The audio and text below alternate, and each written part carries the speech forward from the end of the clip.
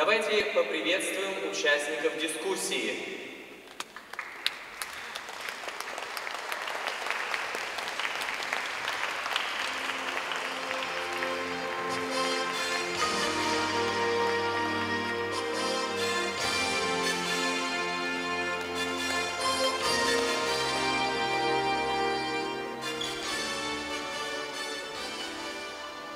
А теперь все внимание на экран.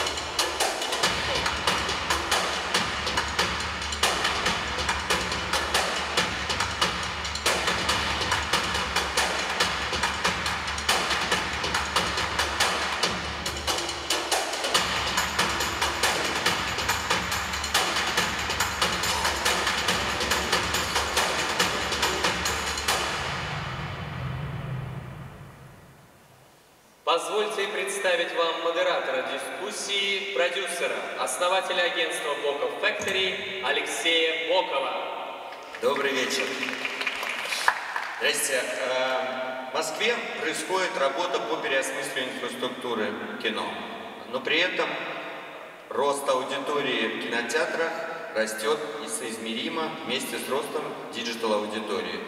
Аудитория смотрит теперь не только кино, но и активно смотрит сериалы. А Аудитория активно вливается в ряды виртуальной реальности, и сегодня это неотъемлемая часть уже нашего контента. Сегодня у нас гости и участники нашей дискуссии. Я бы хотел представить, и каждый из них готовы сказать пару слов. Так, Кирилл, вы как ближе всего, сооснователь и программный директор фестиваля нового документального кино о музыке и современной культуре Bitwit Festival. Кирилл Сорокин. А, Добрый день, спасибо, что пришли. А, Мы занимаемся, собственно, помимо фестиваля Bitfield Festival, многими проектами в области документального кино, как э, дистрибьюторы, как люди, которые работают с этим контентом. И, ну, в частности, до этой панели здесь показывался фильм, который, ну, как подбирали тоже мы. А, В общем, мы занимаемся всем, что связано с документальным кино, вплоть там, до какого-то небольшого продюсирования. Но, по сути, наша главная амбиция и задача – это выведение его на какие-то новые территории. Спасибо. А, Руководитель специальных проектов Центра документального кино и куратор фестиваля Центра Фестивал а, Майя Кузина. Добрый вечер, добрый день. А, Я представляю Центр документального кино, и мы, во-первых, существуем как независимая киноплощадка, принимая в своих стенах самые интересные кинопроекты, которые существуют не только в Москве, но и в России. Помимо этого мы занимаемся дистрибуцией. А, У нас есть свой собственный фестиваль Center Festival, который посвящен городской культуре и жизни современного общества. А с этого года у ЦДК появилась еще и своя собственная стриминговая платформа, которая называется Nonfiction и занимается продвижением также документального кино. Спасибо. Российский кинорежиссер, сценарист, продюсер, автор многих фильмов, э, призеров международных фестивалей и автор, режиссер бесспорного лидера авторского кино в этом году, фильма «Довлатов» Алексей Герман. Здрасте, у меня нет никакого фестиваля, нет кинотеатров, вообще ничего нет. А, Но помимо того, что мы делаем художественные фильмы, мы делаем какие-то документальные, начали делать год назад. Что-то получается, что-то не получается, но тоже есть какое-то представление о том, как все должно выглядеть. Спасибо. Спасибо. Креативный директор проекта VR Ability, вице-президент гильдии неигрового кино и телевидения Георгий Молодцов. Спасибо. Эм, Последние 10 лет я э, делал документальные программы Московского кинофестиваля, который с этого года приз за лучший документальный фильм стал автоматически давать гарантию на прохождение в лонглист премии «Оскар». И три года назад я начал заниматься технологиями виртуальной реальности, создавать контент, демонстрировать контент, и нам удалось как привести российские работы на кинорынок в Канны, в, э, в Берлин, и прокатить по всему миру, так и провести ряд мероприятий в России в формате таких поп-ап кинотеатров, э, в которых люди приходят, синхронно смотрят на 30, на 60, на 100 устройствах фильмы в формате виртуальной реальности. И вот э, в течение этого года, мне кажется, только 10 или 12 событий прошло уже, и еще столько же планируется по всей России. Спасибо. Руководитель сети кинотеатров Москино, э, прекрасная Светлана Максимченко, генеральный директор Москино. Добрый день. А, Москино управляет сетью из 13 городских кинотеатров, как Алексей сказал. Помимо этого мы курируем а, городские проекты в сфере кино, разрабатываем их и проводим. Например, вот 25 августа в Москве пройдет э, акция «Ночь кино». Кроме того, мы с этого года э, запустили Московскую кинокомиссию, которая помогает организовывать съемки в Москве. А, И мы надеемся тем самым облегчить кинематографистам съемки в городе. Спасибо. Один из самых ярких представителей черного зеркала сегодня, если можно. Э, Руководитель продукта онлайн-сервиса «Амедиатека» Владимир Моложенков. А, Да, спасибо. Собственно, у нас есть э, две составляющие бизнеса. Это э, традиционный такой формат кабельные э, телеканалы, четыре базовые и два базовых, два премиальных. И есть, собственно, стриминговый сервис «Медиатека». Э, Нам в этом году исполнилось, э, собственно, «Медиатеке» исполнилось 5 лет. И пять лет назад мы сделали такую большую ставку на сериалы, которая, как, э, наверное, все будут согласиться, все-таки оправдала себя. Потому что производство сериалов достигло масштабов э, таких нормально, нормальных голливудских фильмов. А, И, в общем-то, мы рады, что сделали эту ставку. Также в прошлом году мы, э, как, возможно, многие знают, заключили большой-большой такой контракт с HBO и стали единственными официальными представителями HBO в России и работаем теперь в кабренде Home of HBO. То есть все ваши любимые сериалы вы можете смотреть в медиатеке «Игра престолов», «Мир Дикого Запада» и так далее, и так далее. Спасибо. Ну что, все представлены? А, Как я уже сказал в начале, тема все больше людей предпочитает смотреть а, онлайн. И, конечно же, нас очень волнует, как трансформируется индустрия кино в будущем. Победят ли новые технологии потребность в коллективном просмотре, или же все-таки мы все уйдем в онлайн? Но начал бы я бы не с этого, а все же я бы хотел обратиться ярким представителям а, не digital natives, как мы сегодня выяснили, кто себя считает digital natives, кто не digital natives. Киноиндустрия действительно меняется, но мы все еще помним, а, и давайте немножко погрузимся. Вот, Леша, я бы хотел обратиться к тебе. Вот какие впечатления это оставляло? Вот как это было? Поделись своими воспоминаниями. Как походы в кино и ощущения от просмотра фильмов тогда, и, и поменялось ли оно сегодня? Нет. Ну, послушайте, я хожу в кино, как и все ходят в кино. Мне кажется, что это всегда была некая акция. Да, как бы это всегда, а, это всегда выход какой-то, это всегда путешествие, так или иначе. Поэтому а, мне кажется, что а, поход и коллективный просмотр, и вот акция переживания, он всегда, как он всегда останется. Мы на протяжении столетия слышим примерно одно и то же. Когда появился кинематограф, значит, пошли все разговоры, что ки- кино убьет театр. Когда появилось телевидение, пошли разговоры, что а, телевидение убьет индустрию кинопоказа. А когда, значит, появился, а, появилась стриминговая вся история все онлайн, пошли разговоры, что это убьет и, как бы, и телевидение, и кинопоказ. Ну, как бы, естественно, ничего, ничего, ничего подобного не случится, просто все будет видоизменяться. А, а, все будет, э, все будет э, существовать э, параллельно. Поэтому для меня вот, а, а, ощущение э, похода в кино не изменилось, кроме того, что с рожденного детства кресла стали поудобнее и фильмы потупее. А, Светлана, мне хотелось бы с двух сторон. С одной стороны, э, услышать ваше мнение, действительно, все-таки впечатление и окунуть вас немножко в это. Но в 2017 году э, практически на 10% с половиной выросла посещаемость вообще кинотеатров. А, В вашем смысле у вас растущая очень сеть около 38-40% рост. Расскажите немножко, каковы изменения вы видите и что сегодня влияет на эти изменения? А, я, наверное, продолжу немного про романтическую составляющую. Действительно, есть аргумент сохранения кинотеатров. Это коллективное переживание, темные залы, большой экран, а, погружающий звук. И, наверное, все и в нашей индустрии, и я читала много в американской индустрии, пытаются апеллировать к тому, что люди любят ходить в кино и будут любить это делать всегда. А нам бы тоже хотелось в это верить, и мы действительно делаем для этого много аналоговых проектов, показываем старое кино, показываем кино с пленки, э, организуем встречи с режиссерами, со съемочными группами, с кинокритиками, а, пытаемся создать эту атмосферу кинопросмотра еще более глубокой.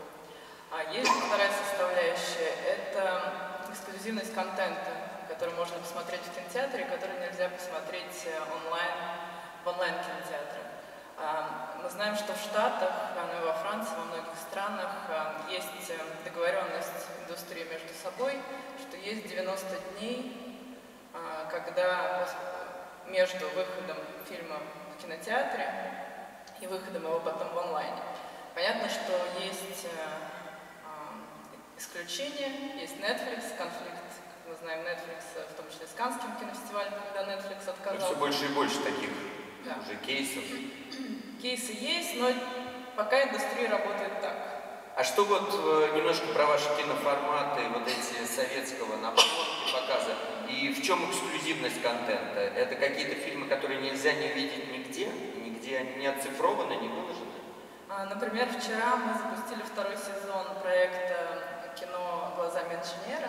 Это наш совместный проект образовательный Москино и Москва глазами инженера. Вы знаете, такие экскурсии, лекции об архитектуре Москвы. Мы показываем в необычных местах э, кино с пленки, связанные с разными эпохами. Например, вчера э, на территории культурного центра ЗИЛ э, мы показывали фильм «Москва» 27 года. Это немое кино, мы делали киноозвучку и действительно эти показы у нас пользуются большой популярностью, регистрация закрывается за несколько минут. А вот следующий показ у нас будет на крыше кинотеатра Родина, и уже идет война за регистрацию на, на этот показ. А мы показываем кино, которое действительно сложно а, где-то посмотреть. Более того, мы его сопровождаем лекциями а, и курсами по тем местам, в которых мы их показываем. А, поэтому это добавляет эксклюзивности не только к кинопросмотру самому кино, но и вокруг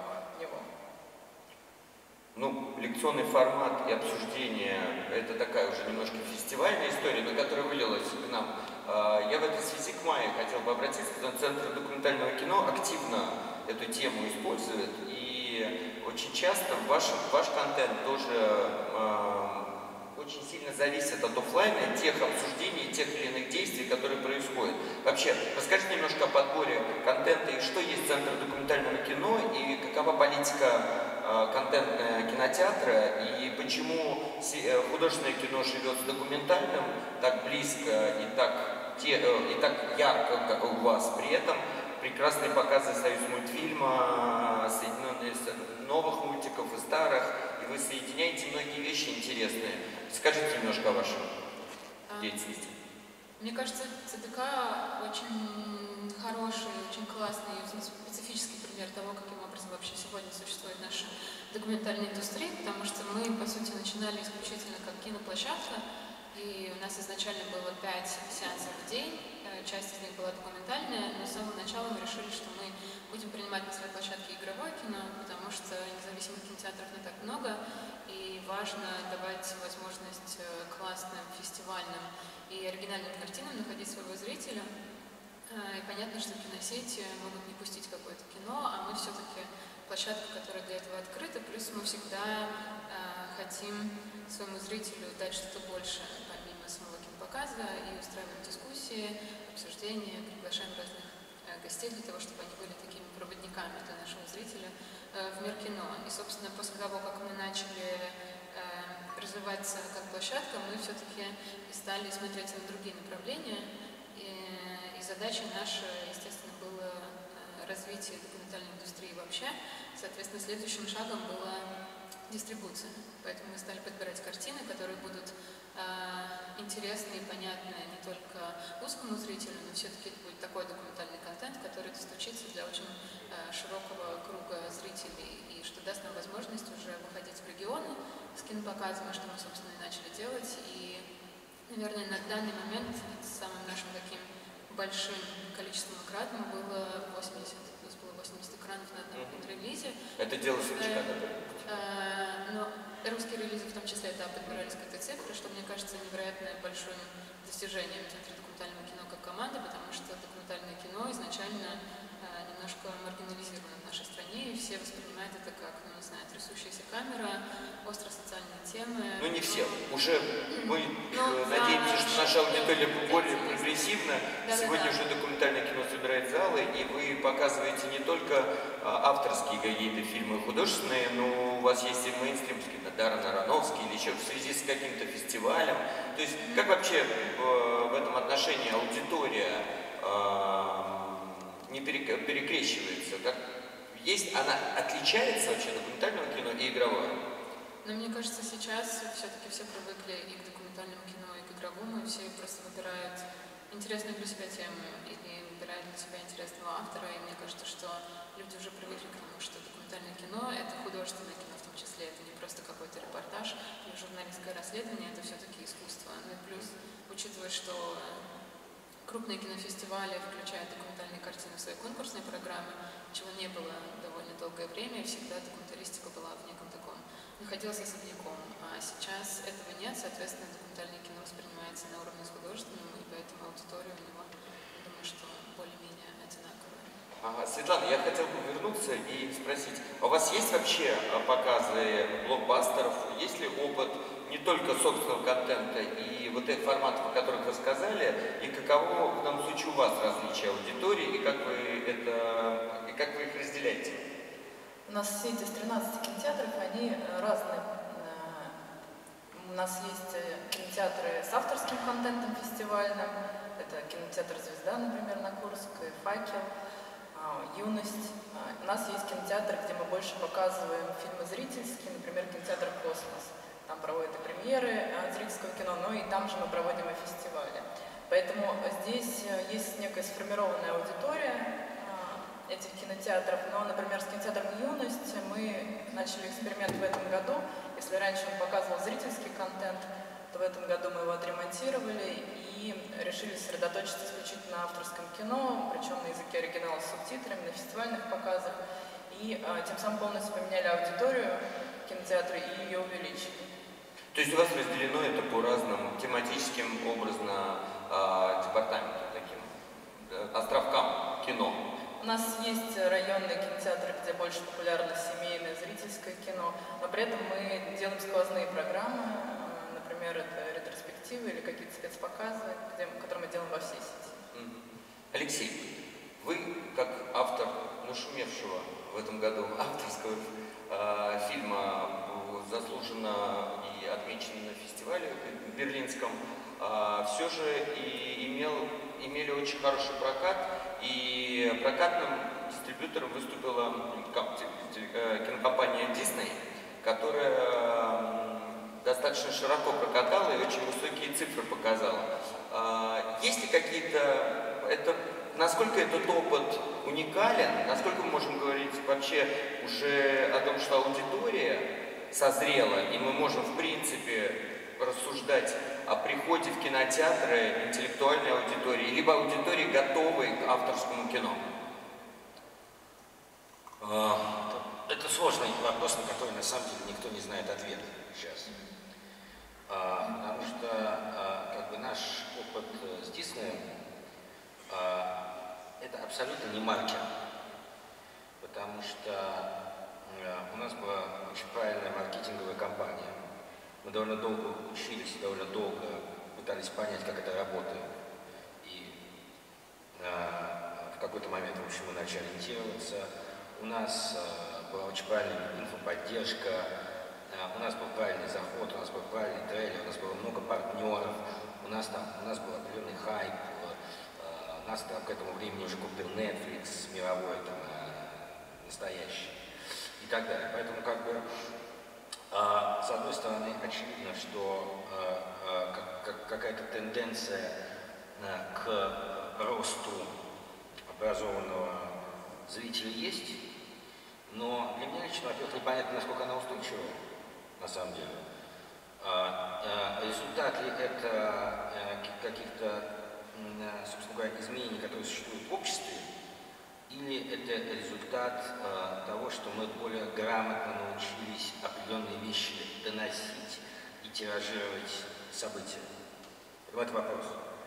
А, но а, я, могу, как я могу сказать по, по моему опыту, да, что а, а фильму, на фильме Добраться нам отказали все дистрибьюторы, кроме одного. А, у нас были такие достаточно напряженные разговоры, но то, что у нас на самом деле очень костная индустрия. И все вот эти, все вот эти победы и так далее, это все копейки, и это все ничтожные доли, ничтожные доли процента, не будем преувеличивать. Ну, помимо каких-то нескольких блокбастеров в этом году, там, которые появляются каждый год. Так вот, нам отказали все дистрибьюторы фактически. И мы сидели, говорили э, с ними, и я все время повторял эту фразу, ребят, вы не знаете своей страны, не знаете, как разговаривать с своей страной, вы не знаете, как выносить для нее что-то и так далее. И, э, собственно говоря, единственный, кто согласился, единственный. О чем, о чем, э, о чем мой спич? Э, мой спич о том, что вот та эйфория, в которой все существуют там, последний год-два, когда мы видим в общем, рост, э, относительный рост отечественного кино, как бы мы видим очень серьезный рост анимации, мы видим какой-то рост документального кино. А, на, на, как бы, на, сам, э, на, на самом деле, на мой взгляд, во-первых, они устойчивы, во-вторых, э, не решает, не решает основной проблемы, для которого, собственно говоря, и существует в том числе так, так, такая вещь, как кинематограф. Это развитие нации. Да, потому что у нас это никак не влияет на там, отток из страны образованного сословия, это не так, никак не влияет на повышение образовательного уровня и так далее. Поэтому э, мне кажется, что все, что происходит, это хорошо. Фестиваль документального кино это хорошо. А, как бы рост игрового кино это хорошо. Но а, какого-то а, взрывного а, события а, я не вижу. И также, и также, к сожалению, я не вижу каких-то событий, которые являются знаковыми для огромного количества людей. Все равно, при всем уважении к коллегам, помимо, помимо медиатеки, тоже как другое очевидно, да, все равно по-прежнему документальное кино и авторское кино – это маргинальная история. И здесь, и здесь очень важно, что никакой осознанной какой-то федеральной стратегии развития нет. Есть какие-то очаги, да, у кого-то хуже, у кого-то лучше, да, но, но я не вижу, я не вижу в перспективе там двух-трех лет а, а, устойчивого развития. Оно может, быть как, оно может быть каким угодно, да, может быть ниже, выше. Ну, может, нет задачи такой? Ну, а как это? Это должна быть одна, это должна быть одна из основных задач. На самом деле проблема журналистов, они, а, и они это подтвердят, к примеру, то, что фактически невозможно продать на федеральный канал документальный фильм, какой бы он выдающийся не был. А если вы это продадите, у вас, у вас он будет, будет какой-то страшно неудобный слот, и это будет, и это будут копейки. А как тогда образовывать нацию? Ну, у нас единственный, я хочу сказать, канал 24 док, который был, канал документального кино, и тот закрылся. Ну, я поправлю. Есть другая проблема с этим связана, если вы продаете фильм на телеканал, вы получите очень мало денег, но после этого сразу будет миллиард пиратских копий, поэтому можно забыть о стриминге. Можно забыть Любому. продавать э, этот фильм уже на всех VOD-платформах. Да, я все-таки думаю, что пять лет мы делали на телеканале «Культура», наверное, не самый любимый телеканал, но все-таки имевший федеральное вещание, делали проект «Смотрим, обсуждаем» с Котененко, где мы показали в общей сложности 100 документальных фильмов, из них 12, 5 оскаровских лауреатов, 12 оскаровских номинаторов, 25 сандансовских победителей, включая и отечественные фильмы. Конечно, в итоге самым рейтинговым фильмом был показан на 9 мая фильм Михаила Рома «Обыкновенный фашизм» с точки зрения цифр. Цифр. За ним шли рожденный в СССР Сергей Мирошниченко, и дальше какие-то яркие фильмы, которые получали действительно премию «Оскар», которые говорили сами за себя. Ну, в частности, «Боулинг для Колумбины» и вот та- такие работы. И я вот сейчас открыл просто бюллетень кинопрокатчика. Мы все равно как-то так оказались здесь очень документальной групп- группировкой большой. А, Объективно из авторского документального кино наибольший прокат все еще стоит, я так понимаю, у Citizen Forum. Я, я прав, да? Так еще это или нет? Кирилл. Кирилл. Я не расслышал, честно говоря. Citizen Forum. э, до сих пор у него как бы в авторском документальном прокате стоит наибольшая, наибольшая цифра. Да, я думаю, да. И я думаю, что это произошло исключительно благодаря тому, что этот фильм э, поддерживался каналом «Россия-2» и вообще Да, продвигался как фильм про... Ну, то есть, условно говоря, он существовал немножко в другом контексте и подавался, ну, скорее в таком, как бы, э, ура-патриотическом дискурсе, Абсолютно, да. А, а вот Ну, то есть событие было все же связано с патриотизмом и с э, вот то, о чем мы Ну, говорим, есть с это, национальным это, был- это был сугубо такой Да. политический маркетинг, да? Здесь обратная сторона. Вы говорите, нельзя продать на телевидении, а здесь телевидение купило фильм и прокатало его в кинотеатрах. А вот после этого идет уже Эми, который прокатывали вы, да? Эми. Да, и One Direction, который прокатывали, по-моему, не, не- не помню, вы прокатывали One Direction? Это, это Universal. А, Кобейна. Кобейна вы или вы? Короче, смысл в том, что независимые фильмы, которые имеют э, э, хорошие цифры, хорошие показатели, но все равно максимальная аудитория не превышает 33 тысячи человек. Вот эти 33 тысячи человек – это вся аудитория, с которой в авторском документальном кино мы максимум со всеми усилиями ВГТРК смогли допрыгнуть. И все остальное – это «Чудаки 3D», Майкл Джексон, «Земля медведей», «Океаны», «Чудаки», а «Придурки 2». Георгий, можно я скажу? что с виртуальной реальностью нас ждет совсем другие цифры, правильно? Можно я скажу? Я убежден, что убежден, что эта аудитория больше на самом деле. Мне просто кажется, что э, вопрос э, того, что только формируются э, подходы к работе с аудиторией. И на самом деле я бы, на- на- я же документалист, да, но я бы задал, э, ну, на месте вас я бы задал вопрос, почему в стране, э, которая там, в районе 150 миллионов, такие низкие, та- такие низкие, ц- та- такие низкие цифры. Это, это что означает? Людей нет.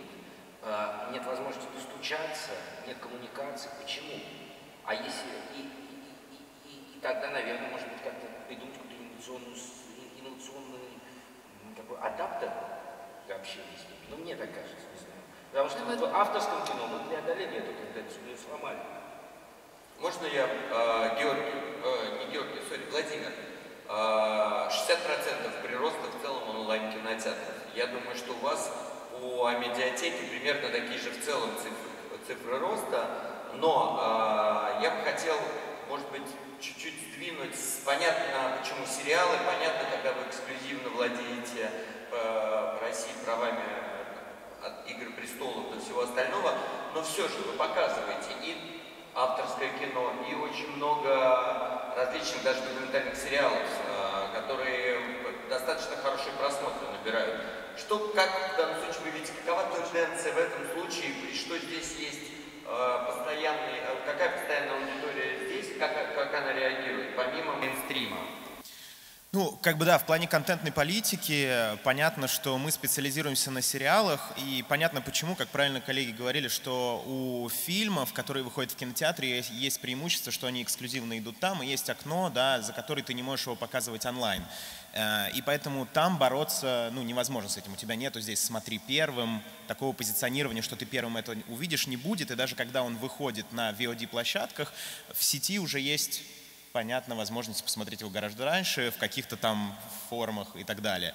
А, Поэтому единственное преимущество, которое есть э, в том числе у кинотеатров э, реальных, это показывать одновременно с выходом. Собственно, вот только вышел, и вот сегодня ты посмотришь первым, быстрее, скорее. Поэтому, естественно, фокус на сериалы, которые мы в онлайне можем показывать одновременно с их выходом на, на собственно говоря, каналах. Тем не менее, ты в плане контентной политики невозможно приобрести один сериал, да, есть вот какой-то классный сериал «Игра престолов», взять только его, мы знаем, что он нам сделает кассу и все, так никто не работает. Тебе дадут еще огромную кучу контента, которую тебе придется купить. То есть так работает сегодня бизнес. Поэтому, естественно, у нас есть и другой контент, и в том числе с HBO мы владеем всем контентом, который они производят. И у них одна из также сильных сторон — это HBO, документаль, документальные фильмы HBO, очень популярные, очень хорошие, очень сильные. И я думаю, мы здесь можем разделить боль коллег в плане э, потребления именно документального и авторского кино, потому что оно выстреливает только если эта тема должна ну вот, она должна быть супер животрепещущей и очень попадать в человека, особенно в русского человека, да, потому что мы работаем на территории России, и э, там Россия, СНГ в нашем случае, да, и с коллегами вместе тоже. Вот, и у нас, как бы, имея контент HBO э, документальный, он вообще про другие какие-то вещи. Есть совершенно прекрасные фильмы там про Мартина Лютера Кинга, да, которые... Я тоже, тоже, тоже подумал ровно про этот фильм. Как раз мне было интересно, сколько людей его посмотрело. Да, да, он совершенно Счет идет на десятки. Конечно, конечно. Он, это прекрасный документальный фильм э, с интересной подачей, где как бы нету какого-то э, наратора, а есть э, просто воспоминания знакомых с ним, коллег и так далее. Но здесь это другая культура, здесь никто его не знает и никому это не интересно. Понятная история, там, например, фильм с Робином Уильямсом у нас не, недавно а, вышел, это другая история. Это все-таки он большой такой, да, это большой человек даже для российского, для российского мира как бы просто почему мы идем в эту сторону и документального, и авторского кино, потому что оно скорее доступнее в данном случае, да, и проще. И, скорее всего, у аудитории, которая хочет потреблять качественный сериальный контент, а показывая зарубежный контент, мы показываем, реально мы занимаемся таким черри-пикингом, выбирая самый, э, самый крутой продукт.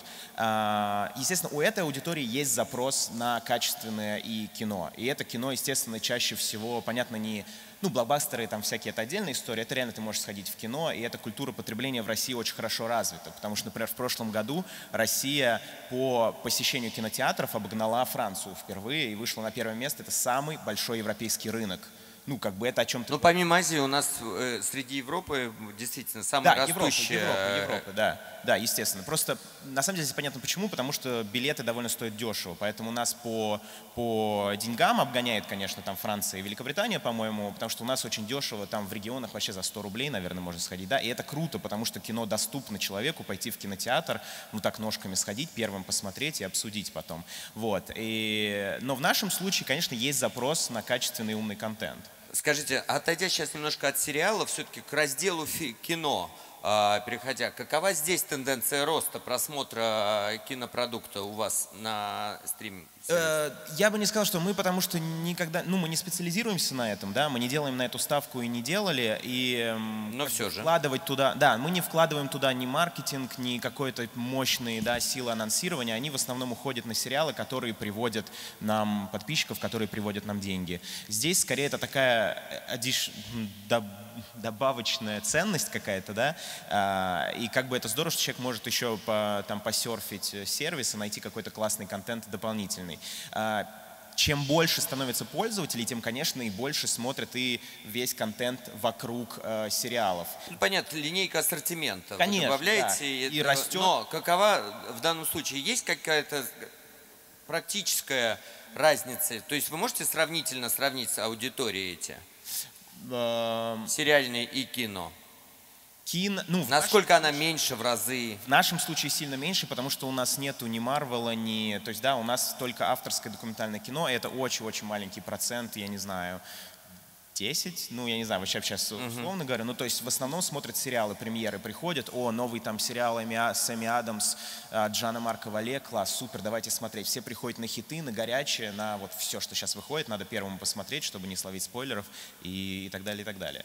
Вот, то есть поэтому, конечно, это не, наша история. Есть другие, есть другие коллеги, которые занимаются, э, делают ставку на кино, да, понятно, есть Иви, есть ОККО, это другая история, там да, другая культура да. потребления. Мы все-таки э, в сериальный, в сериальный контент, вот. Кирилл, к вам вопрос. А, фильмы все-таки а, о музыке классические, стабильно имеют очень сильный интерес и вообще в связи с контентом и с аудиторией, которая любит просматривать, не, не раз, не два, и обращаться к этому контенту, она такая более лояльная и более стабильно возвращающаяся. Какова ваша история и немножко офлайновская да, аудитории, и ваш, ваш опыт показа онлайн? То есть уже когда вы дистрибутируете продукт непосредственно, заливаете его либо в iTunes, либо в другие какие-то просмотровые площадки. Какова ваша история сравнения этих аудиторий и что в данном случае вы понимаете сегодня, когда уходите в онлайн?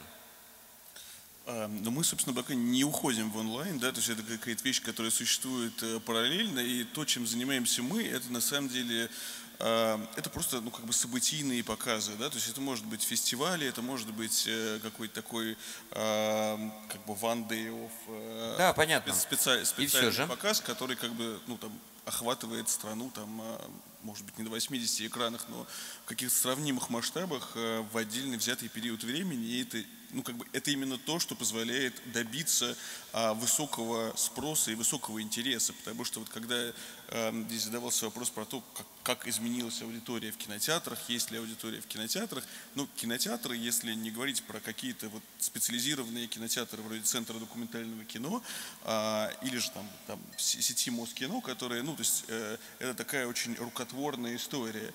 А если мы берем сеть, где, там, я не знаю, в одной Москве там какие-то сотни экранов, то понятно, что это довольно анонимная история, и там зритель, он, ну, как бы приходящий и уходящий, да, и поэтому, если там вот происходит какая-то событийная история, когда, а, там, не знаю, в одни выходные показывают фильм а, Довлатов, то какая-то аудитория, которая в противном случае могла бы себя до последнего, там, а, 2-3 недели заставлять а, и думать, что я схожу в следующий раз, я схожу да, на следующей неделе, а потом посмотреть это там ВКонтакте, да, тут она взяла себя в руки, мобилизовалась, пришла в кинотеатр кинотеатр. А можно ли говорить о том, что эта аудитория есть в этом кинотеатре?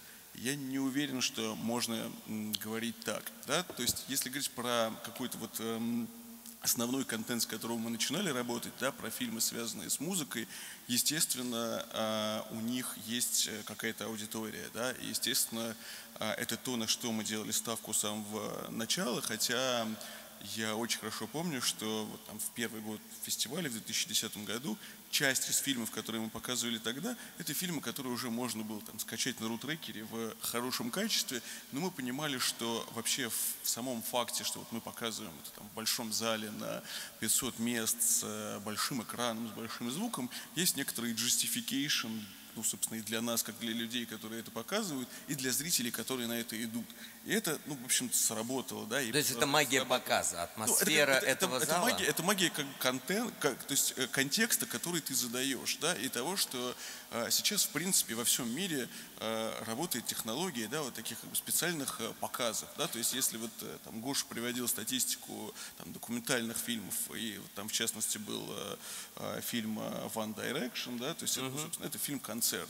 Вот э, для меня в какой-то момент стало совершенно шоком, что одним из самых популярных э, э, таких вот фильмов прошлого года был фильм, собственно, с концертом «Рамштайн в Париже». Да? Вот, собственно, его там посмотрело больше 50 тысяч человек там, по билетам. Это ну, там, для, собственно, независимого документального и даже там какого-то артхаусного кино ну, цифра достаточно внушительная. А, там, в нашем случае у нас там, ну, то есть одним из каких-то самых э, э, знаковых э, историй э, таких который мы делали, остается фильм там, «Здорово и вечно» про э, Егора Летова и группу «Гражданская оборона». Это, собственно, был фильм, который посмотрел там больше 20 тысяч человек и который ну, там, действительно показывали там, по всей стране. И э, там приходили самые разные запросы. И это был тот случай, где, условно говоря, кинотеатры и там, киносети скорее противодействовали этому контенту. Да, то есть они не хотели его брать, они его боялись.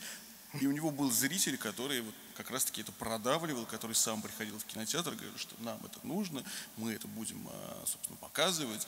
Но вот э, по каким-то цифрам с точки зрения VOD могу сказать, что они достаточно скромные. Да? То есть это фильм, который сразу же после того, как э, ну, там, на второй неделе э, сделали его экранку, и там сколько мы ее там не убивали, да, понятно, что она там появлялась там, во все большем количестве мест, соцсетей и так далее. И сейчас этот фильм, там, ну, я не знаю, там ВКонтакте его видели, наверное, уже там какие-то сотни тысяч человек.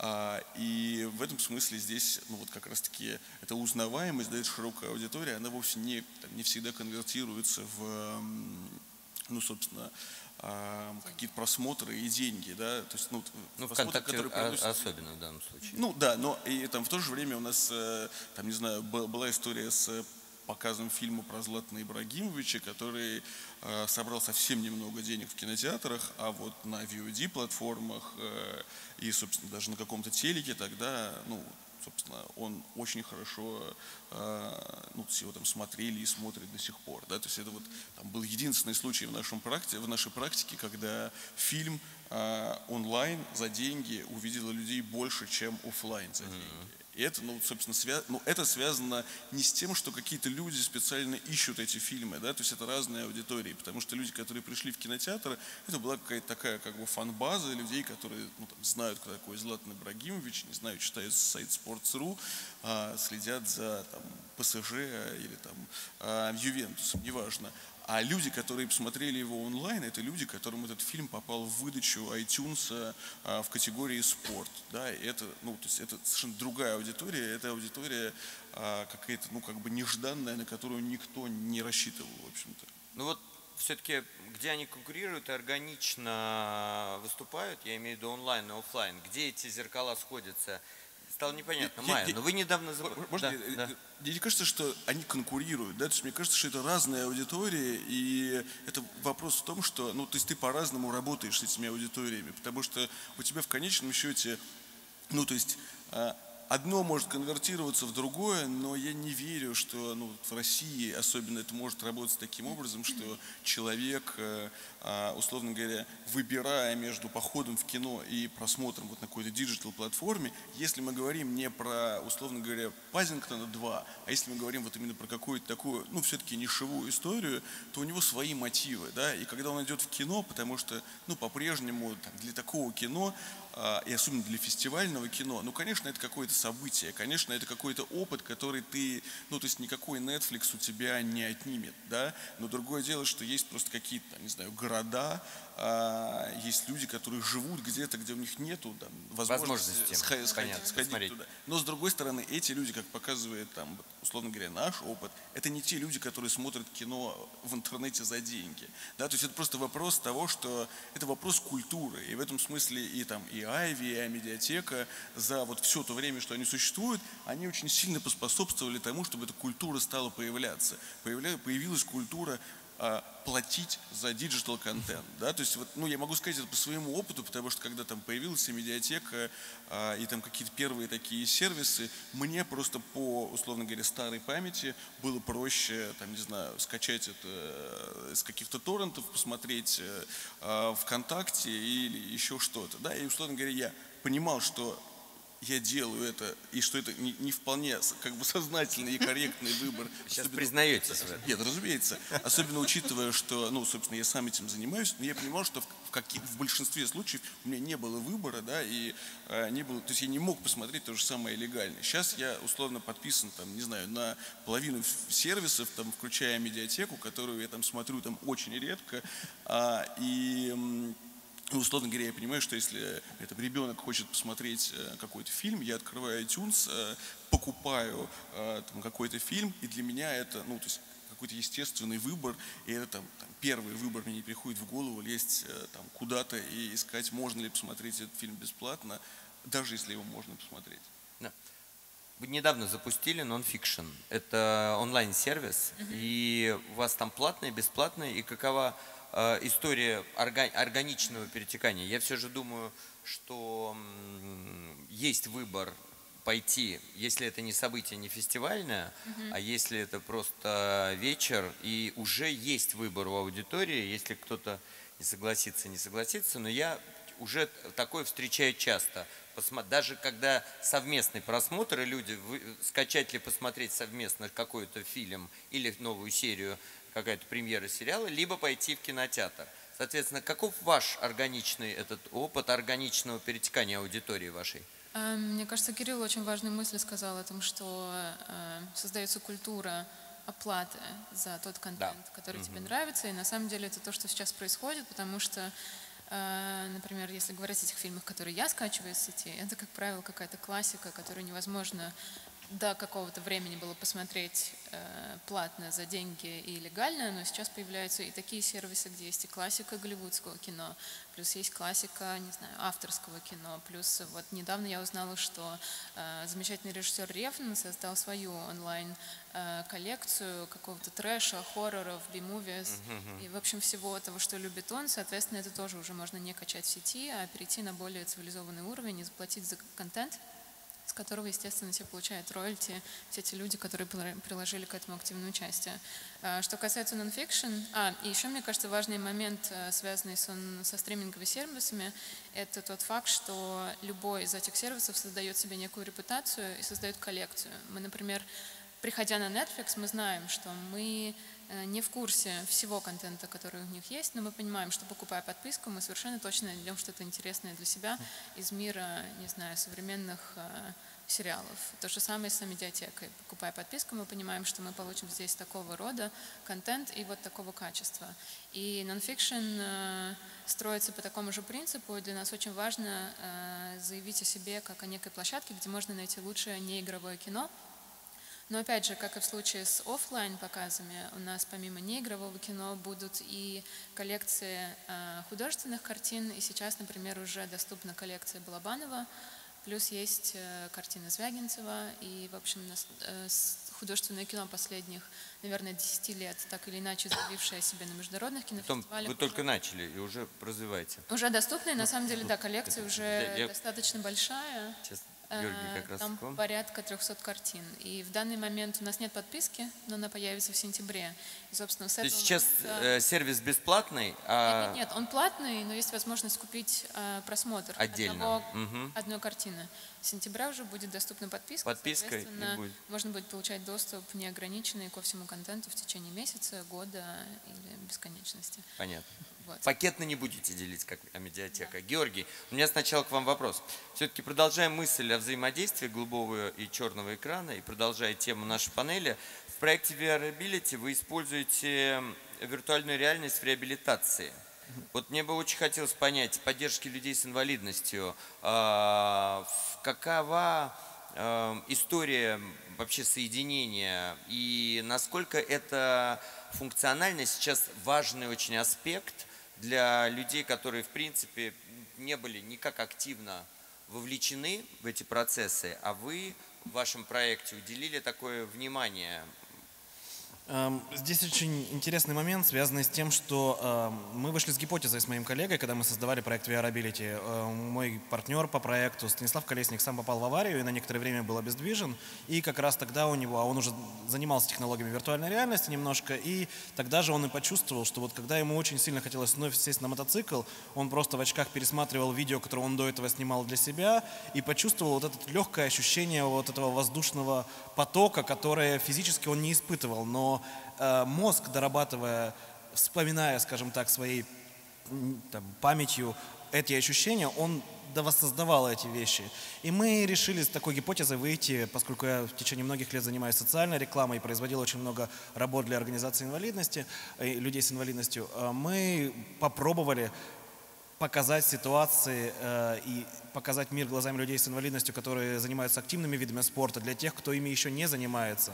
Потом, пройдя этот этап, мы поняли, во-первых, что на тот момент, 2015-2016 год, уровень качества самих очков и частично изображения пока еще не, не позволял создать вот такую убедительность, а, которая в формате видео все-таки не срабатывало так, как в формате компьютерных игр в виртуальной реальности, потому что в играх ты сразу понимаешь, что это виртуально, это нереалистично. В видео срабатывал вот такой переходный момент, в котором ты видишь, что это изображение, ты знаешь эти объекты, и твой мозг сам пытается тебя убедить, типа, ну, ну come on, ну, вроде реальность, но вот где-то так посередине. И чем это лучше было сделано технически, чем это лучше сделано было с точки зрения рассказа самой истории, и не только технология, а именно то, чтобы в этом появился сюжет, чтобы тебя увлекало не то, что перед тобой в изображении, а то, что тебе рассказывают, тем лучших результатов мы добивались. И затем мы начали экспериментировать с тем, что у наших друзей там фонда «Хрупкие дети» мы узнали там историю, что девочка очень хочет прыгнуть с парашютом, но, естественно, ей физически это нельзя. Мы пошли, просто сняли этот прыжок с парашютом в формате 360. Всем им показали, кому-то там вентилятором дули, кому-то что. И это были нереальные эмоции ребят, подростков, которые прекрасно понимают, что им можно, что нельзя по состоянию здоровья, но понимая, что то, что они видят, это определенный уровень, который они не могут достигнуть. Вот мне это показалось очень интересным, но еще большего эффекта я достиг, когда начал показывать коллективно, э, возвращаясь вот это, с того ровно, с чего мы начали, эстетику кинотеатра, когда люди приходят специально вместе на какое-то событие, когда они чувствуют, что они все Вы сейчас про сферическое кино да. или сферическое? Да, да. Угу. И они приходят, и несмотря на то, что они каждый по-своему в очках виртуальной реальности... Немножко в двух словах скажите аудитории, что это, чтобы было понятно. А, а вот у меня камера 360 лежит, то есть, в принципе, сферическое видео — это одна из э, возможностей снимать панорамное изображение полностью с охватом 360 градусов на 180 градусов, то есть полная сфера. Надевая очки виртуальной реальности, соответственно, тут есть пара стендов, на которых вы это можете попробовать, а, вы ваше изображение поворачивается туда же, куда поворачивается ваша голова. И у вас в мозжечке создается ощущение реалистичности из-за того, что сопровождающееся движение, и мозг начинает это обрабатывать и от этого и заключ... в этом и заключается эффект виртуальной реальности. А как скоро вам кажется? Потому что вот, например, добавленную реальность никто еще пять лет назад не верил, а сегодня, ну, там, все digital natives, как мы сегодня mm-hmm. назвали условно аудиторию, те, кто, в принципе, проживает параллельные миры и второй экран все время присутствует, добавленной реальности просто живут. И сегодня то, что творится в игровой индустрии, в добавленной реальности, она уже давно захватила а, все остальное. Поэтому, как вам кажется, как долго нужно виртуальной реальности, чтобы плотно войти. И вот Алексей Герман следующий фильм, может быть, снял уже в виртуальной реальности. И мы а, полностью, ну как минимум сферическое кино уже увидели. Но самым успешным из проектов показов, по крайней мере, с точки зрения дистрибуции, с точки зрения самого качества контента, я вижу не в среде игровых постановочных проектов, а в научной среде. В Швеции мы второй год проводим фестиваль научного VR-кино, и работы, которые я вижу там, которые позволяют людям оказаться внутри человеческого тела в графике, окунуться в глубины, улететь в космос, улететь на Марс, визуализировать информацию, которую, вот я говорил про проект VR-Ability, в котором люди с инвалидностью пробуют то, что они не могут попробовать чаще всего, да, или могут попробовать, но еще не пробовали. Тут мы говорим про весь человеческий опыт, который не может представить это себе, недостаточно у него э, физических возможностей. И я вижу, что именно этот контент создает наибольший интерес у зрителей. Контент, где ты понимаешь, что ты его никогда не попробуешь, у тебя нет жизненного опыта сравнения. И вот то, что я вижу, что наибольшим успехом пользуются прежде всего анимационные работы в VR. Они приближены к компьютерным играм, но все равно обладают гораздо более стройным сюжетным развитием. Далее идет документальные работы и как раз таки остросоциальные, про вещи, в которых, типа, окей, мы посмотрим про вот эти вот лагеря беженцев в Конго, но мы туда не поедем, но мы как бы посмотрели, как бы, как бы все хорошо. Вот, как бы мы с ними. Вот. И дальше уже только игровые вещи, которые пока что в сферическом кино смотрятся очень сложно, как театральные такие представления, а, нежели чем художественно-выразительное кино. То есть мир э, Стивена Спилберга из последнего фильма нас еще сейчас пока завтра не ждет? Абсолютно не ждет. И те попытки, пока которые... с игровым мы еще те попытки, Подожди. которые были сделаны в маркетинге для продвижения этого фильма, они были сделаны в плане игр, небольших миров из Ready Player One, но и они были все, все упоротые люди, которые смотрят VR, говорили, не, ну это не то, типа в фильме лучше. Света и э, Володя, к вам вопрос, потому что, Володя, я знаю, вы офлайн делаете премьеры серий, и это собирает достаточно там «Игры престолов», я сам был, и, сам почитатель сериала, и поэтому э, и, и видел, какой ажиотаж происходит в аудиториях офлайн до выхода, даже в онлайн. Вы постоянно на этом э, играете. А вы, соответственно, делаете какие-то онлайн-истории, делаете истории вообще передвижных кинотеатров даже по Москве. Вот немного, если вы расскажете, э, если возможно, Светлана начнет про ваши опыты различных передвижных mm-hmm. кинотеатров и онлайн просмотров. И будете ли вы увеличивать эту историю? У нас на самом деле нет онлайн просмотров. Пока нету, нет, да? Пока нет. Мы думаем об этом. А мы вот буквально на днях обсуждали с командой, что нужно как-то выходить в онлайн. Если у вас эксклюзивный контент, тем более. Да. да. Но пока мы больше нас Думаем затягивает, да, да, затягивает нас назад в историю. И мы действительно делаем передвижные кинотеатры, но это такой узкий Э, сегмент, потому что посещаемость этих показов ограничена площадками, где-то можно 100 человек, где-то 300, но это все равно очень малые э, аудитории, и это такой эксклюзивный контент, когда мы показываем в разных, на разных площадках э, э, кино с пленки, с винтажных проекторов, это такой эксперимент скорее. А, понятно, что это не потоковый, мы долго думали, можно ли это масштабировать, и пока не видим масштабирования этого э, проекта. То есть мы только увеличиваем количество этих показов э, и думаем над тем, что, возможно, можно как-то онлайн транслировать, но сомневаемся, что это то же самое переживание, когда это проходит в определенных необычных местах.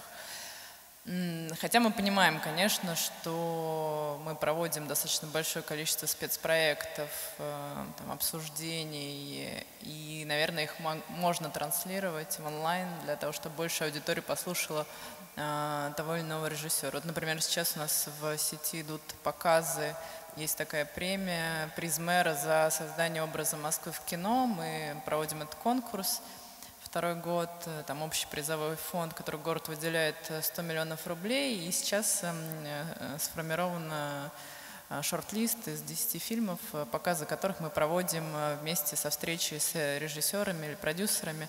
Вот, например, буквально на, этой неделе у нас прошли показы «Протяжение» с участием Федор Бондарчук приехал, рассказал про фильм. У нас прошло, прошел показ «Нелюбви» и был Роднянский селфи, э, тоже с участием съемочной группы. И несмотря на то, что эти фильмы уже давно выходили э, в прокат, и большинство, я думаю, что их видели, все равно интерес именно к просмотру совместным с режиссером, со съемочной группой, к этому обсуждению, наверное, их можно было бы транслировать. Ну, дискуссионные клубы стабильно собирают хорошие аудитории, и таких опытов действительно много разных, прекрасные у вас, и э, очень много там, наш друг Антон Долин собирает по 500, по 600 человек залы э, на обсуждениях э, о фильмах, которые не собирают обычно и, как казалось бы, не соберут. Но все же, а ваш опыт офлайна и насколько вы будете продолжать это делать и что будет интересного от вас? Да, я бы хотел на самом деле сделать небольшую ремарку про технологии вообще и восстановить такой таймлайн для, наверное, понимания, что нам сегодня кажется, что стриминг, ну это что-то такое понятное, да, зайти в приложение, посмотреть, мы все привыкли на любой сайт, и это что-то, без чего мы не представляем нашу жизнь, но на самом деле, э, несмотря на то, что там тот же Netflix, да, самый известный, запустился в 2007 году именно как стриминг, запустил стриминговую платформу, то есть уже 11 лет назад. А, мировым трендом сам стриминг, например, вот был признан всего лишь в прошлом году.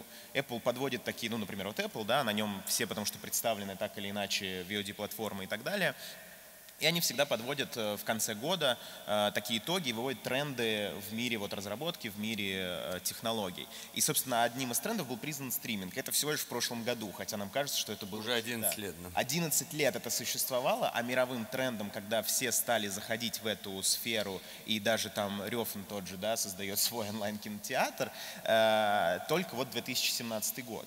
Э, чтобы понимать такую хронологию. Поэтому, говоря там о том же VR, нужно явно дать этому время. Если только сейчас, когда нам кажется, не представляем свою жизнь без стриминга, он только сейчас стал трендом. Ну, мой вопрос в данном случае по VR был да, да, просто, больше про развлекательное и про художественное кино, потому что касательно именно интеллектуального и научного сообщества, это очень все понятно, и это действительно очень большой скачок э, в этой области. Но все же, возвращаясь да. к вашему опыту, и насколько этот опыт будет продолжаться, насколько ваши онлайн-премьеры будут все же э, уходить иногда в кинотеатры, и что вы с этим будете делать, потому что это тоже, это тоже большая как бы история, которая сегодня есть, премьера спектаклей или в кинотеатрах, или каких-то других офлайновских вещей, и вот эта граница, она очень важна, и где и где, и где вы будете переходить ее?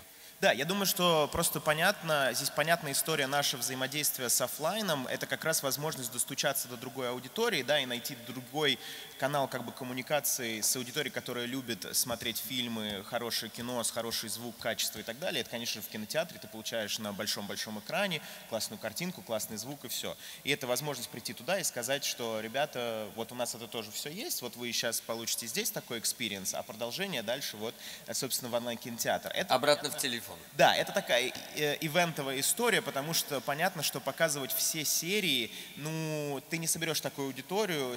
Ну, конечно, «Игра престолов» — это отдельная история, ты соберешь. Но по другим сериалам это скорее именно вот примера первой серии, там, первого сезона. Это класс, это бум, никто не знает, все хотят узнать, и хотя бы первую серию, но точно посмотрят. Ну, особенно если это формат э, кинофильма по времени, хр по хронометражу. Да, и, как правило, есть очень часто опыт, когда снимают большие режиссеры первую серию. Конечно. И как бы есть, это уже целая как бы событийность заложена в самом продукте. Да, и мы на самом деле видим сейчас, э, и в, то есть мы уже несколько лет это делаем, показываем там и «Игру престолов», и «Мир Дикого Запада» мы показывали, собственно, мы делали как ивент такой тоже на большом экране в метро, мы делали большую, большую премьеру, очень такая уникальная история, там даже «Нью-Йорк Таймс» писал в общем, постил эти фотки, э, сумасшедшая история. Это правда?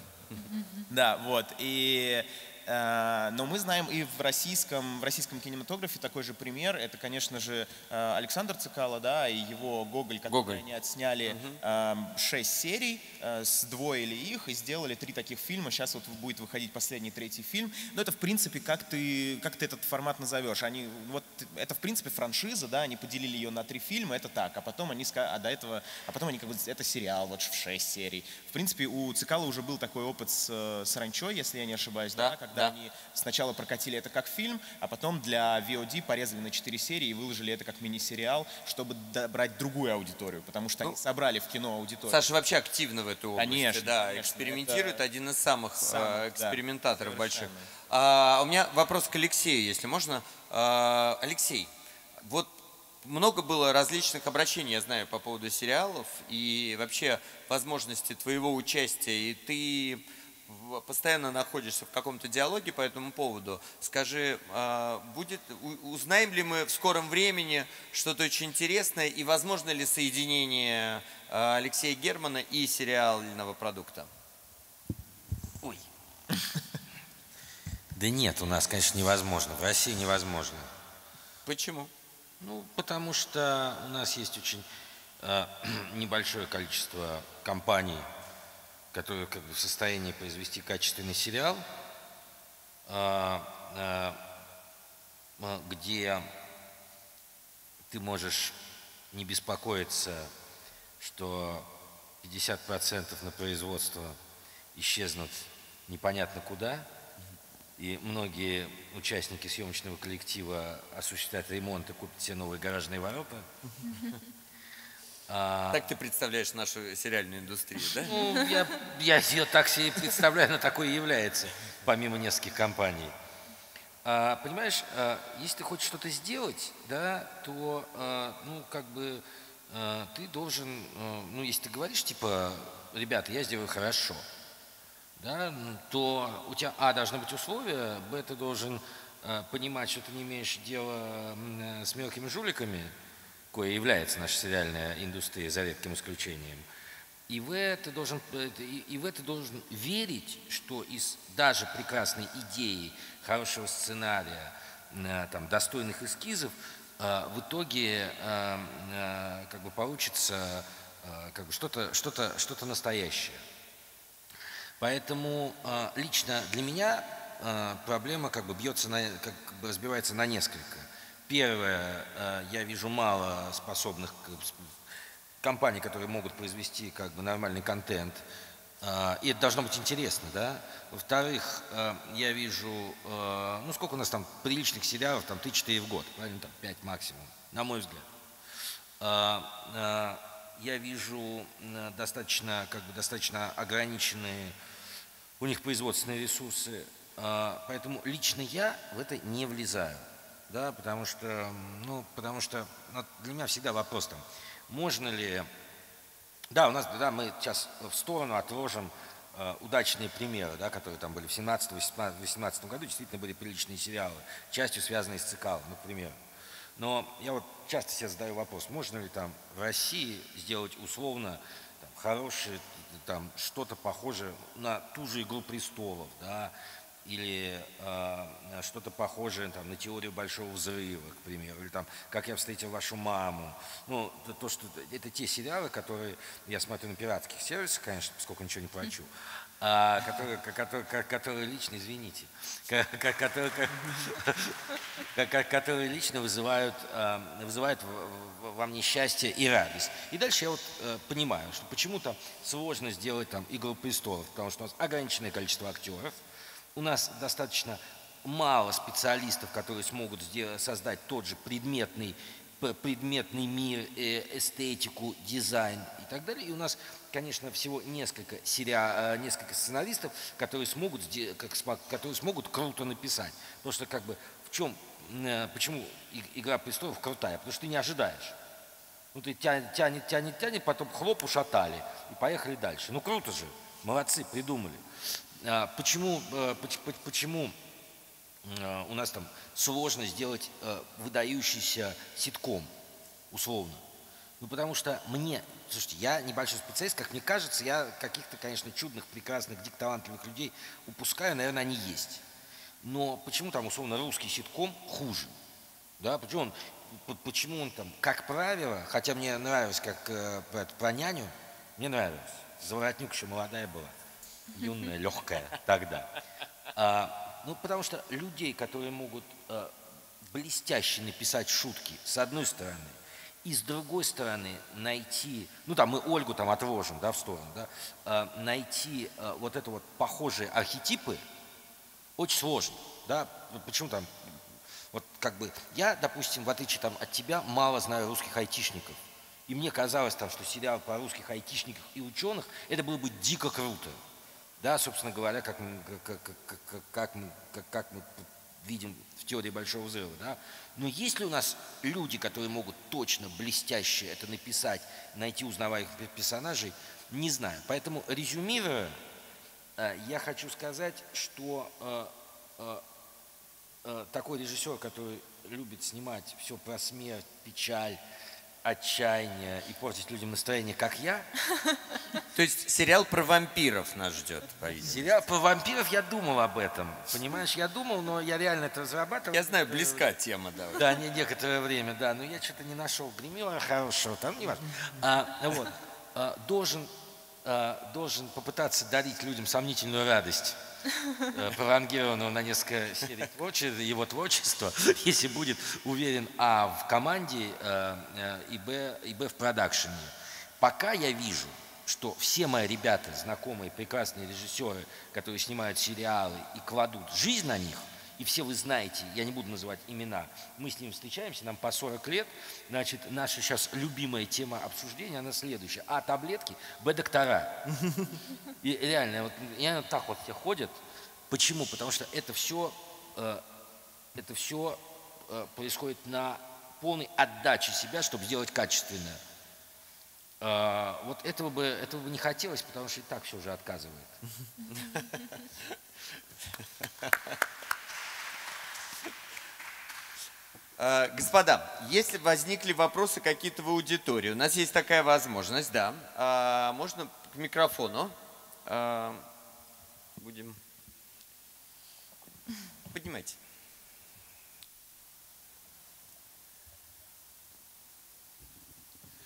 Добрый день. Спасибо большое за атмосферу, которая у нас здесь создалась к этой части разговора. Вот, я хотел бы ее а, несколько иначе направить потому что наша тема между голубым и черным экраном, да, она для нас очень, очень интересно с нашей стороны видна. Обратите внимание, что вы все находитесь в некоторой декорации, которая является результатом проекции. И в этом смысле идея кинематографа, как идея пещеры Платона со зрителями, сидящими спиной к миру, она несколько изменилась. Зрители – а, не выбирают между жизнью и смотрением, между жизнью и чтением. между жизнью и работой. Они каждый день складывают свою жизнь из множества разных фрагментов и фактов. И в связи с этим у меня есть один важный вопрос.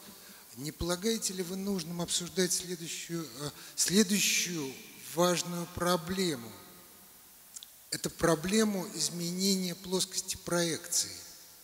Не затягивать в пещеру, а делать кинематограф как проекцию на реальный город. Мы с вами в нем находимся. Я испытал недавно потрясение от того, что вот эта вот тяжесть нашего, невыносимая тяжесть нашего бытия, когда ты, например, вспоминаешь хуцеевский фильм «Мне 20 лет», и ты видишь людей, которые живут не в квартирах и не в норах, а в открытом пространстве города. И я двигаюсь по проспекту Сахарова, и вдруг я понимаю, что я могу дышать, что меня никто не дышит. А вот вопрос. Спасибо. Да, чуть. Ага. А, возникло ли у кого-то понимание, как это возможно сказать? Знаете, а, давайте все же конкретные вопросы. Я попытаюсь сформулировать а, ваш вопрос, если вы мне разрешите. А, то есть, насколько мы хотели бы спроецировать, я так понимаю, вот ту тяжесть, которая присутствует, жизненных разворотов непосредственно экранного нашего состояния трансформации в некое черное зеркало. Правильно переход? Да.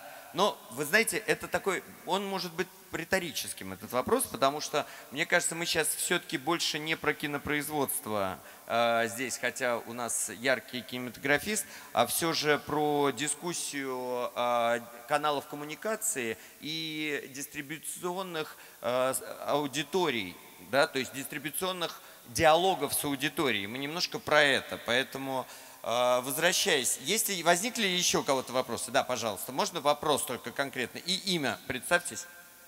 Здравствуйте, Михаил. Конкретный вопрос к Алексею. А, вот... вот так все неприятности и начинаются. Надеюсь, что не в этот раз. А вопрос следующий. Вот что бы вы посоветовали человеку, у которого есть идея, а, которую он хочет воплотить в жизнь, но опыта у него нет, Э, съемках, там в этом процессе и прочее. Но идея перспективная, на его взгляд, и она не одна, их несколько. И как бы в создании фильма, который реально может претендовать даже на Оскар. Вот. Что вы такому человеку посоветуете сделать?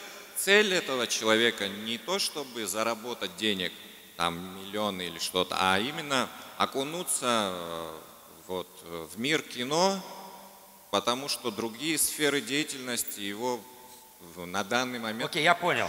Да, как это вот осуществить? Я, я коротко, чтобы не занимать время коллег. Ну, э, кос э, по Оскару, это, конечно, больше к Звягинцу. Он бы вам сейчас завернул что-то такое интеллектуальное. А, я, а, на самом деле, сейчас э, сделаю круг и к тому, о чем мы говорили. А, когда мы упоминали о том, что на канале «Культура», собственно говоря, показывались э, э, те же документальные фильмы, и э, что на первом месте был обыкновенный фашизм, а на, второй, на, на, на втором месте был, собственно говоря, фильм «Рожденный СССР» там, и так далее. Значит, а, я человек глупый, но к определенному возрасту я понял, что, как мне кажется, работает это э, то, что то, что как бы коммуницирует не, не с, ой, как сказать, не с теориями, не с концепциями, не с форматами, а, а, а коммуницирует с э, мемами, с бессознательным, с тем, на, на что люди воспитаны, тем, что на них это, на то, что, на, то, что, то, что для них это важно. Да? То есть оно, оно э, коммуницирует с чем-то внутренним. Будь, будь, будь это эмоции, будь это как бы какой-то культурный багаж, будь это что-то. Понимаете? Потому что мне кажется, что самое главное не заниматься структурированием. Мне кажется, самое главное попасть в какой-то нерв. Попасть в какой-то, ну, попасть в какой-то, попасть в какой-то, вот как Балабанов смог попасть. Извините, вопрос немного не об этом. Как бы идея и понимание уже есть. История есть. Э, как бы она основана на реальных событиях, осознание того, что громадный бюджет тебе ну, не Ну, напишите сценарий, пойдите по Ну, существует питчинг идеи. Да, существует... да, просите, просите ну, у них деньги. Да, но в этом отношении это очевидно. Вопрос просто Алексей ответил вам. Просто а... надо двигаться. А куда двигаться? Скажите, мы двинемся. К продюсерам возьмите вот. топ-10 компаний. Смотрите, существует, если вы идеолог и сценарист, существует питчинг сценаристов, существует достаточно много а, от производственных компаний, которые произ, проводят эти питчинги, до Министерства культуры. И вы вполне можете продвинуть вашу идею. Так обычно начинает. Если человек не из кинематографического мира, не имея образования, имеет какую-то идею, он обычно формирует за собой целое движение или что-то делает из этого и участвует в питчинге идей. А без э, формирования целого движения, например, напрямую с человеком, вот с вами встретиться или с другим каким-нибудь... А вопрос в этом. Предложить. А, послушайте. Сократить. Мы можем встречаться и водить хороводы. Где? Но я вам ничем не помогу. Где, где можем встречаться? Сейчас выйдем, я вам все расскажу, как надо сделать. И кому, кому пойти. У меня денег нет. Сейчас зак, за, закончим, я буду, я буду выходить, и там где-нибудь договоримся, на входе встретимся, я вам пять минут кратко, кратко расскажу. Курс. Да. Вы хотите просто все донести сделается. свою идею, понятно. Все будет. Да. Хорошо, есть ли еще вопросы? Давайте. А, Николай, у меня есть такой вопрос. Есть ли будущее в актерской профессии, так как э, сейчас на экране появляется все больше мультфильмов или компьютерных персонажей? И впоследствии они заменяют обычных людей. Анимационные персонажи, да, вы имеете да, в виду? И не только ли в обычных фильмах могут ставить компьютерную графику вместо персонажей и так далее. Это дорого очень. Ну, а, пока еще, но мне кажется, технологии идут вперед, правильно? Ну вот, на самом деле, я бы переадресовал, Георгий, к вам этот вопрос. Насколько в виртуальной реальности а, вообще замена мира – это сегодня уже как бы реальность абсолютно. И она, э, виртуальная реальность является некой реальностью для формирования и создания миров, и сегодня мы видим там и на выставках современного искусства, и в ученом сообществе, когда ты действительно можешь погрузиться полностью. Насколько возможно, что это полностью заменит тех или иных живых персонажей, и насколько это, эти миры могут стать реальными, уже существующими виртуальными мирами, без которых мы не сможем быть? Ну, я вообще выхожу с позиции, что виртуальная реальность – это технология, не самостоятельная, а дополняющая имеющие технологии. Как в случае то, чем я занимаюсь с VR-кинотеатрами, с VR-контентом, это дополнение к существующей эстетике и средствам выразительным кинематографа. Кто-то этим занимается в науке, кто-то в медицине, в образовании, но она надстраивается на имеющиеся уже форматы. Сейчас ключевые проблемы, которые стоят перед э, моими коллегами, которые занимаются непосредственно технологией, это Эм, четкий захват э, действий пальцев, то есть очень сложно создать, скажем так, устройство, которое будет очень точно передавать захват рука, рукой объектов. Без этого ощущения ты не можешь создавать, условно говоря, удаленных роботов, которые бы на каких-нибудь шахтах выполняли сложные э, вещи без участия человека, уменьшая риски. Вторая сложность, она касается уже больше психологического формата, это сложность передачи движения зрачков глаз – и даже э, наиболее известная в VR работа Алехандро Иньяриту, Иньяриту, Иньяриту, ну, короче... Иньяриту, вообще. Ну. Иньяриту, угу. говорят, да, мне тоже удобнее так говорить, но смысл в том, что все прекрасно невероятно тяжелейший рендер с точки зрения объемов производства, с точки зрения качества, с точки зрения той глубины пространства, которое они простроили вместе с Любецким. Это действительно работа совместная, и она полностью компьютерная, но при этом видна работа художественная. Но те персонажи, которых они вживую отсканировали с реальных пойманных когда-то беженцев, которых они пригласили, а проинтервьюировали, они не живут глазами. И без этой жизни глазами нет ощущения реальности, которая бы действительно тебя погружала. Да, для, как, для кого-то этого эффекта виртуальной реальности, эффекта воздействия на мозжечок, что ты можешь потрогать объекты, заглянуть в них, достаточно. Но чем дольше ты в это погружаешься, тем меньше это тебя, становится, тебя убеждает. И вот этот вот эффект аттракциона, он пропадает. Пока не найдут решение сделать все элементы, не говоря уже о чувстве прикосновения, разрабатываются костюмы, которые ты надеваешь, и они в нужные места тебе дают вибрацию, когда к тебе касаются. А, пока вот все эти элементы не будут доведены до какого-то готового формата, да. все время не будет жить. Но вы знаете, уже э, соцсети, как говорится, у нас так как там самое большое количество все-таки сейчас э, денег, и, и они уже, вот касательно зрачком, это уже вводится. То есть очень скоро мы будем входить в соцсети через виртуальные очки, и то есть уже ты глазом будешь руководить, что смотреть и куда. То есть ну, уже... Но нет, а, без это, тачпэдов будет это. Это объективная просто реальность, что э, у Apple у него своя стратегия, но вот у Facebook, что и у Google, это две основные компании, которые инвестировали в виртуальную реальность и в рынок э, виртуальной реальности. Я видел прямо вот происходящий на, на щелчок ситуации, когда маленькие группы разработчиков, даже там в России, в СНГ и в особенности в азиатских странах, придумывали технологию с теми же самыми зрачками на уровне прототипа выкупают просто с потрохами, и да, да, да. на годы Я, я уже очень много прототипов видел. Как скоро, как вы думаете, а, Володя, у вас в медиатеке уже будет зал виртуальной реальности, и мы уже будем выбирать и смотреть, как бы и входить?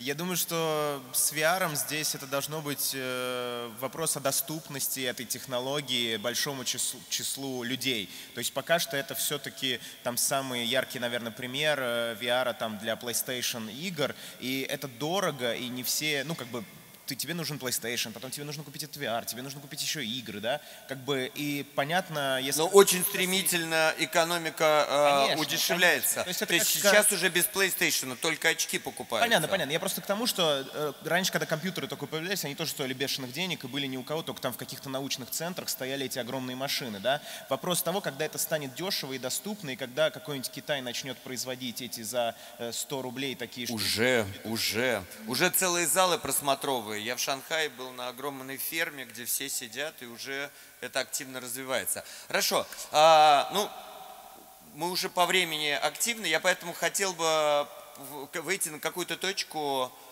выхода и резюмировать, и, соответственно, попросить вас э, сказать свое мнение, ответить на главный вопрос все же сегодняшнего как бы нашей панели, хотя насколько он главный, непонятно.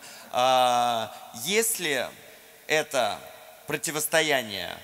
Нет ли его, по вашему мнению? И какова органика э, совмещения? Хотя мы уже сегодня пытались ответить на этот вопрос, и, наверное, многие даже впрямую там, высказались по этому поводу.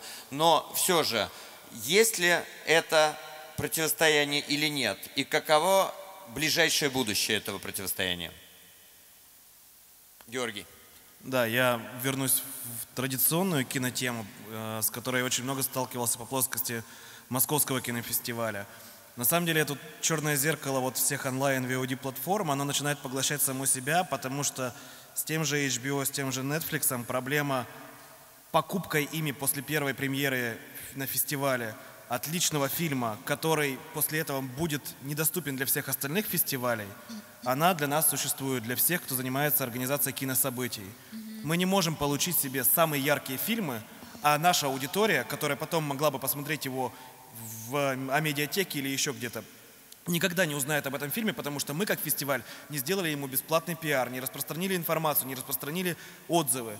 Потому что так построена система, и Netflix выкупает все права, и мы как бы вот и сами себя они и губят. У них как бы есть этот фильм, ну, никто не его не все права. Вы имеете в виду сейчас их оригинальные. Вот у нас есть фильм Довлатов, который куплен э, Netflix, и в данном случае вы имели возможность да, но, его посмотреть ну, в прокате. Это... Да. это вы сейчас говорите конкретный пример Окджа, и сейчас новые проекты, которые они запускают. Но вот в этом и есть кейс того, что фестивали Но поэтому борются с ними. Я могу сказать, что, во-первых, Netflix довольно гибкие ребята, где-то, где-то гибкие, где-то не гибкие. Во-вторых, по, по, ну, как ты говоришь, А, а, а, ну, я по нашему опыту знаю, что они достаточно, достаточно внимательно там готовят э, релиз э, э, условно в англоязычном пространстве, и для них очень важен, как бы, для них очень важен какой-то фестивальный поинт, для них там важен там старт в Америке, там первые показы в Америке и так далее. Поэтому а, но я могу сказать, что это, что это, что это, что, что, что, что, это везде так, все непросто.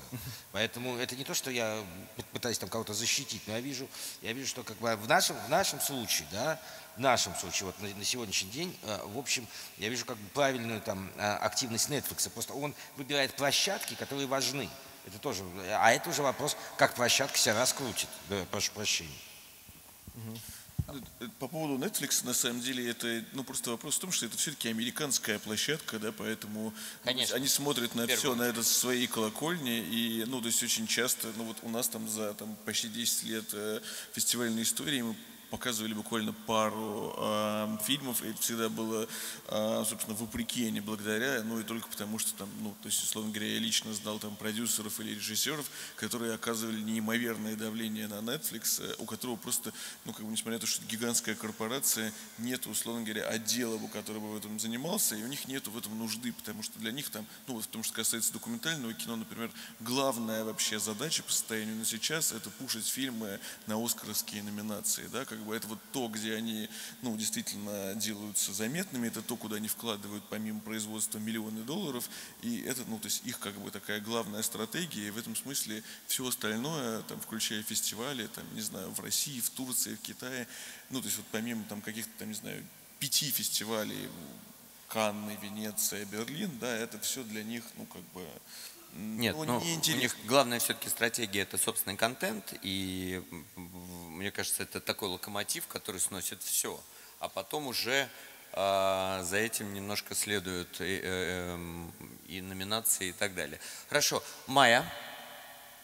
Эм, ну, мне кажется, это вопрос урегулирования действительно. Что касается Netflix, эта проблема действительно существует, и нам, как небольшому фестивалю, как небольшой площадке, Получить фильмы Netflix, Netflix не удается вообще. Например, там был замечательный фильм Кити Грин, которая uh-huh. была готова приехать в Россию. Ее приезд были готовы оплатить. Но Netflix просто не дал разрешения на показ ее картины, потому что она гремела на всех важных фестивалях. И было бы здорово показать ее здесь. Но, опять же, как говорит Гоша, просто потому что не было фестивальной и не было офлайн премьеры об этом фильме даже никто не узнал. Ну а что касается... Ну, я хочу сказать, что вообще территориальная зависимость очень сильна. Сейчас вообще вообще, а, если вы посмотрите на Телуриде или когда в Монреале представляют фильмы, очень четко а, сразу Америка и Канада забивают. Поэтому это еще принадлежность к стране. Потому что если бы это был а, фильм европейский, была бы немножко другая история.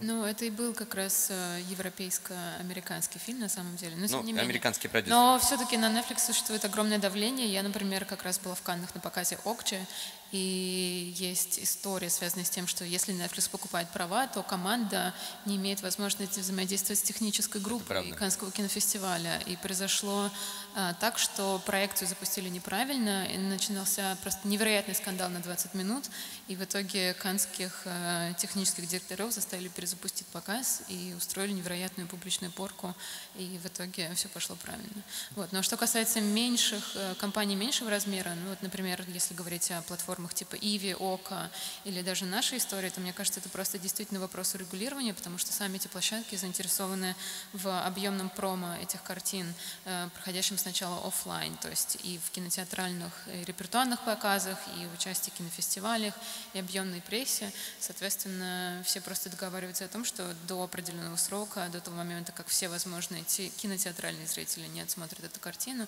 она не попадает в сеть. Ну а дальше уже подступают региональные зрители и так далее и тому подобное. Светлана Володя, у вас там прекрасное соседство черного голубого экрана. Расскажите, есть ли это противостояние и ваши прогнозы? Я думаю, на наш век э, кинотеатров хватит, и мы не доживем до того момента. Москино точно. Я думаю, что если а, в американской индустрии прочит смерть кинотеатров через 10-15 лет, то до России эм, дойдет еще э, позже. Но на самом деле я не верю в смерть кинотеатра, возможно, в сокращение какого-то а, такого потокового контента. Эм, то есть как раз эксклюзивность контента для кинотеатров, э, создание, возможно, сокращений их и так далее, но это все равно перспектив далекого будущего, э, хотя, безусловно, э, онлайн-сервисы, они часть аудитории забирают. А, и более того, у нас не, часто нет этого лага в 90 дней, часто фильмы выходят раньше, прям сразу из проката, иногда даже не попадая в прокат. Такое часто случается. Тем... Дорого, потому что да. прокатывать стало для многих фильмов. А, тем не менее, я верю, что пока и на то направление, на другое аудитории достаточно, и у нас еще есть э, и у тех, и у других э, достаточно большое количество неохваченной аудитории э, кинопросмотром не в кинотеатрах, не в онлайн, а вот той аудитории, которая как раз смотрит бесплатный контент ВКонтакте. Я верю в Москино. Володя, у меня к вам уточняющий вопрос. Вы все же отнимаете в большей степени голубого экрана телевизионного, а, а есть ли у вас статистика просмотров, с каких носителей смотрят э, сериалы ваши самые рейтинговые? То есть что смотрит все-таки с э, компьютера, и у вас, потому что есть элемент регистрации, и я знаю, что на iPad у меня зарегистрировано, допустим. То есть есть статистика, и что смотрит с телевизионных экранов? Э, ну, в смысле, там нет такого, что с какого-то носителя смотрят, э, то есть по носителям, в принципе, статистика одинаковая. Контент один и тот же смотрит тебе, где удобно. Ты начал смотреть там вечером на большом экране, потом продолжил в дороге, да, свой iPhone, потому что... Но сколько вот, например, то есть через Apple TV или какие-то технические вещи смотрит на большом экране, а сколько смотрит на маленьких экранах? Есть? Э, примерно пополам. Пополам? Да. Угу. Большой телевизор и компьютер 50%, и мобильные лэптопы, ой, эти, iPad, айфоны тоже половина. Да. Угу. И мне кажется, в плане к вопросу борьбы этой противостояния, его как бы на самом деле, это не то, что противостояние, а развитие всего рынка, потому что на самом деле стриминговые сервисы сейчас появляются у тех же самых производителей контента. Да, Disney сейчас объявил о том, что он сделает свой онлайн-кинотеатр, и как бы они же и прокатывают свои фильмы, да, и им же будет интересно, чтобы сначала, наверное, им прокатать в, в собственно, офлайне, потом показать в онлайне. Они просто будут делить эти, ну, по-разному свой контент. Конкуренция растет. Мне кажется, всем надо бояться Амазона, но неважно. Ага. Ну да, ну, как бы просто идет передел, так сейчас такой глобальный передел рынка, потому что и Facebook запустил свой стриминговый сервис Facebook Watch, и все вкладываются в производство контента и Правда. пытаются как бы оторвать кусок от этой большой-большой-большой, э, большого денежного денежного мешка, но эти офлайн кинотеатры, да, традиционные кинотеатры, это все-таки такая сильная культура, привычное потребление, и она в ближайшие, мне кажется, там пару десятков лет точно никуда не денется. Оптимистично пару десятков дали. Останется. Алексей, да. как вам кажется, сколько нам еще ходить в кинотеатры и каково, э, история, э, каково будет перспектива этого противостояния? Ваше мнение на это? Ну, в кинотеатр мы будем ходить в каких-то видах всегда.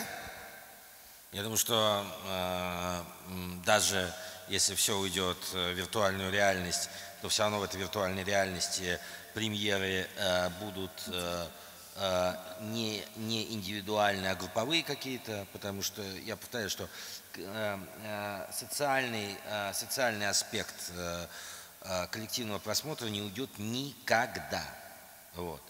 Поэтому я думаю, что здесь все будет, эм, здесь все будет хорошо. Э, касательно, э, касательно всех стриминговых историй э, и того, что и того, что там каждый производитель сейчас будет открывать свою, свою платформу, это, конечно, прекрасно. Но даже в Америке я, я вижу то, что качественный уровень большое количество платформ не может, э, не может, э, не может, не может поддерживать. Он довольно средний, да, потому что даже у них профессионалы конечные. А, а у нас, собственно говоря, э, как я думаю, что проблема будет в том, что если мы займемся производством своего контента, качественного его будет мало, потому что у нас не очень хорошо с инфраструктурой и с людьми. Но тем не менее, я смотрю на будущее, на будущее с радостью и со счастьем, на чем и хотел завершить. Ну что, мы выслушали разные точки зрения, и, э, наверное, невозможно за эти полтора часа прийти к какому-то э, однозначному мнению, и э, наша дискуссия была достаточно легкой и доброй для того, чтобы мы точно тут не сражались и очень часто даже сходились мнения.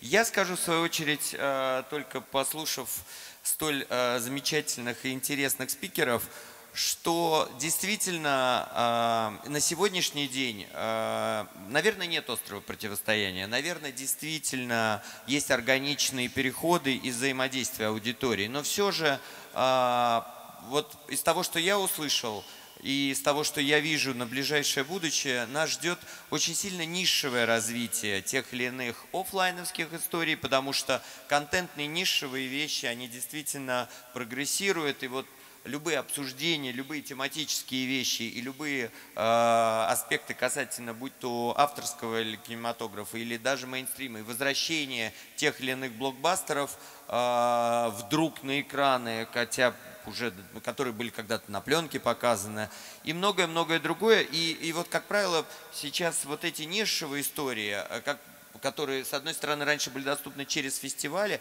а сейчас через просто сеть вот таких вот событий, действительно э, приводит нас к коллективному просмотру все больше и больше, потому что есть по зонам э, и по интересам, э, что и как хотелось бы собираться. Поэтому давайте поблагодарим спикера. Спасибо вам огромное, что послушали.